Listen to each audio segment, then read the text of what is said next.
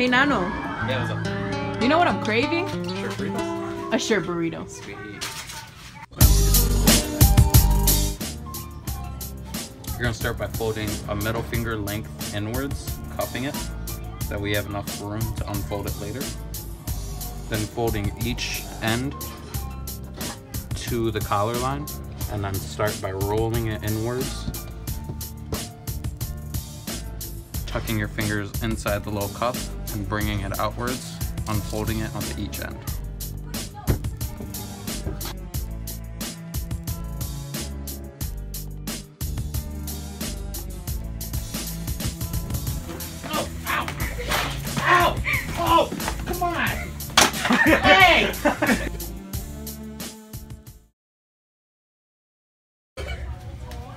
God, do you not know how to juggle?